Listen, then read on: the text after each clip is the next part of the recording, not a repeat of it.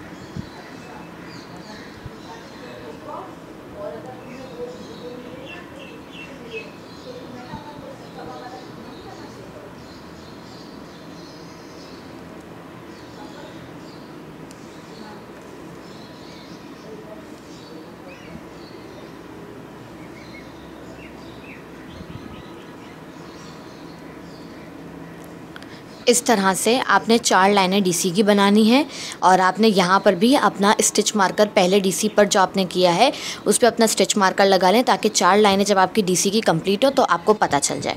चार लाइनें डीसी की बनाकर वीडियो दोबारा प्ले करें।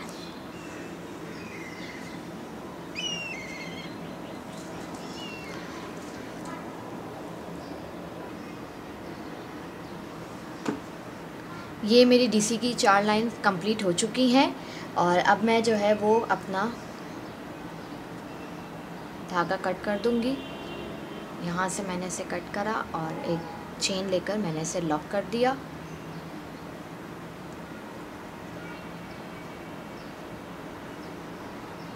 ठीक है? सॉरी स्लिप स्टिच तो रह गया हमारा। आपने यहाँ पर जब आपका लास्ट टाका आ जाएगा तो उसके बाद आपने एक स्लिप स्टिच ले लेना है। ये लास्ट डीसी और आखिरी वाली लाइन में स्लिप स्टिच नेक्स्ट स्टिच में आपने उसको स्लिप स्टिच ले लेना है ताकि आपका काम जो है वो एक साथ कंटिन्यू रहे। ये मैंने एक स्लिप स्टिच लिया, फिर एक चेन ली और उसको लॉक कर दिया। ये हमारा क्लच तैयार है। आप इसको मैंने आपको बताया था कि आप इसे बहुत सारे तरीक़ों से इस्तेमाल कर सकते हैं। तो ये रेडी हो चुका है। इसमें जो है वो हम ये लाइनिंग लगाएँगे। और मैं लाइनिंग कैसे लगाते हैं, ये भी आपको लगाना सिखाती हूँ। इसके लिए आपने जो है वो सबसे पहले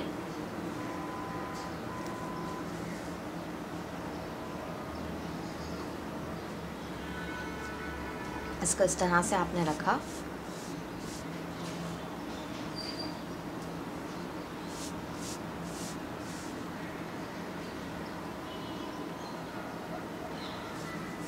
और आपने जो है वो अपना पर्स इसके ऊपर रखना है। आपने पर्स इस तरह से रखना है कि एक इंच यहाँ से, एक इंच आपका जो है वो यहाँ से, एक इंच इस तरफ़ से, एक इंच इस तरफ़ से और एक इंच इस तरफ़ से। चारों साइड से एक एक इंच आपने ज़्यादा रखना है, क्योंकि हम फिर इस तरह से इसे मोड़ेंगे तो आपने इसे एक एक इंच ज़्यादा छोड़ना है। और आपने फिर इसे अपने पर्स के साइज़ से कट करना है। ठीक है, ये मेरा पर्स यहाँ तक है तो मैं इसको इस तरह से फोल्ड करूँगी। इस तरह से कि मेरा पर्स देखें, पूरा हाइड हो गया है। अब मैं इसमें एक एक इंच का फासला रख के इसे कट कर लूँगी।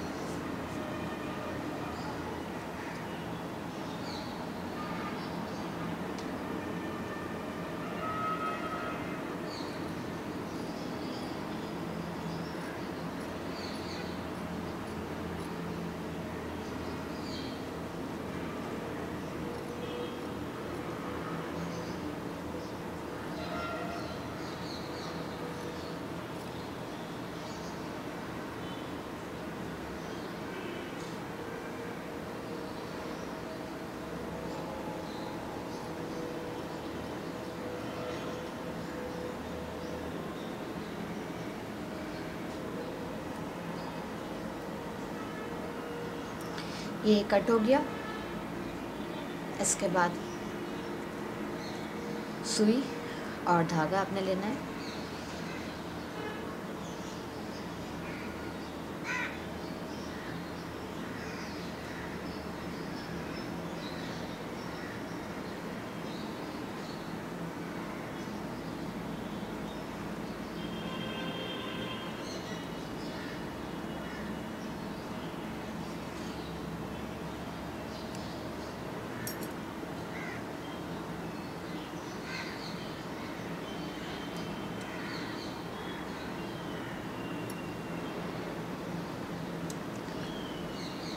अब आपने यहाँ से इसे थोड़ा सा मोड़ना है।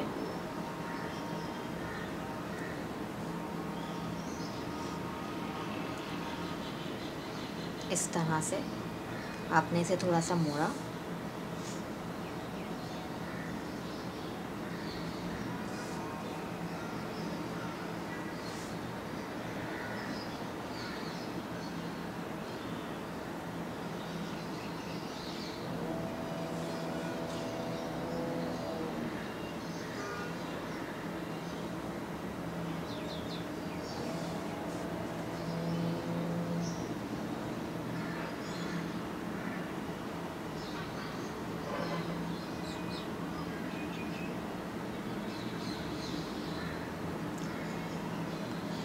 और जैसे हमने स्वेटर की अस्तीन में जो है वो पॉकेट में अस्तीन में छोटे छोटे टांके लिए थे, वैसे ही हम यहाँ पर भी ले लेंगे।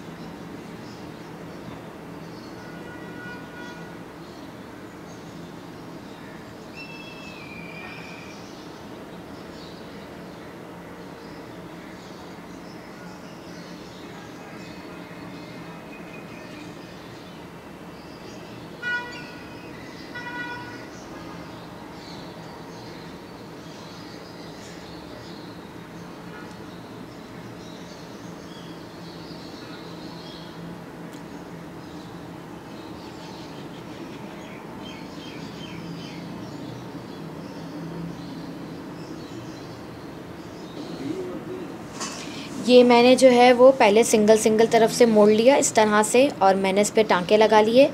इसके बाद अब मैंने इसे जो है वो इस तरह से अपने पर्स के शेप में मोड़ा है।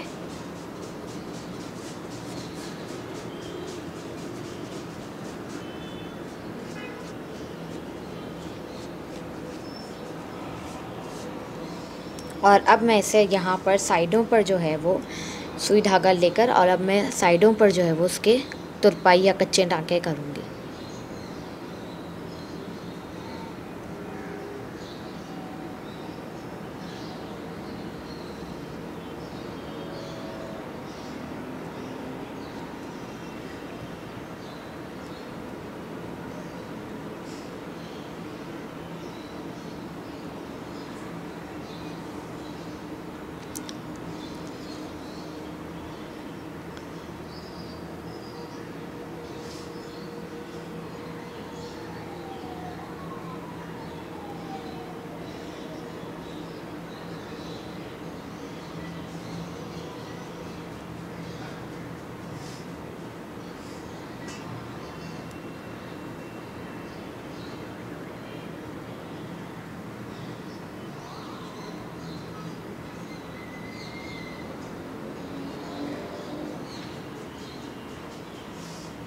इस तरह से फिर मैं नॉट लगाकर दूसरी साइड भी इसी तरह से टाँके लूँगी।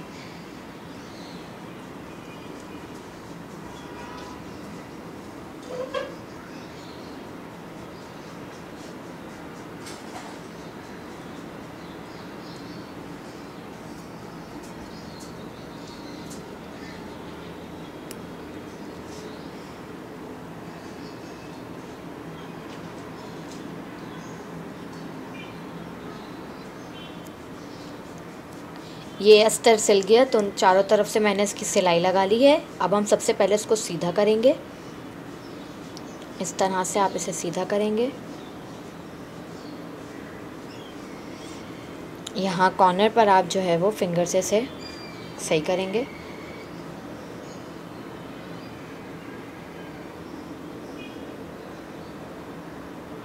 इस तरह से। इसके बाद आप इसे इस पर्स के अंदर डालेंगे।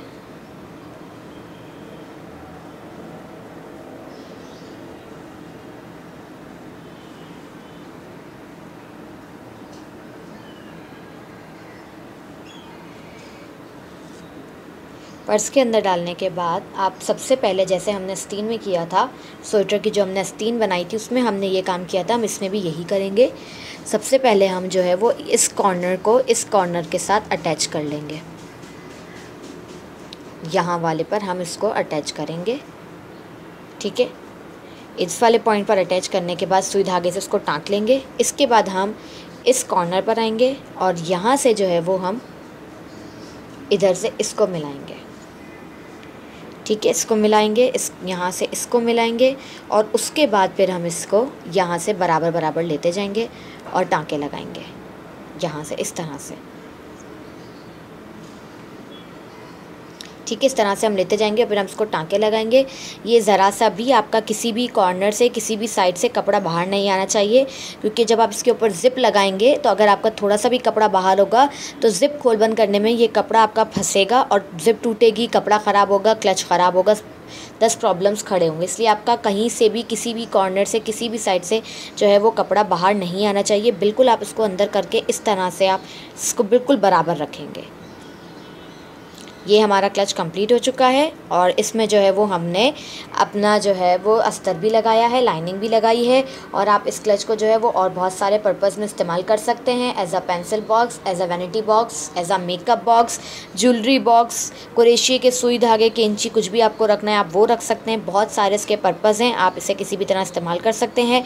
अगर आपने अभी तक मेरे चैनल को सब्सक्राइब नहीं किया तो मेरे चैनल को सब्सक्राइब करें, मेरी वीडियोज़ को लाइक करें शेयर करें कमेंट करके मुझे बताएँ कि आपको मेरा चैनल कैसा लग रहा है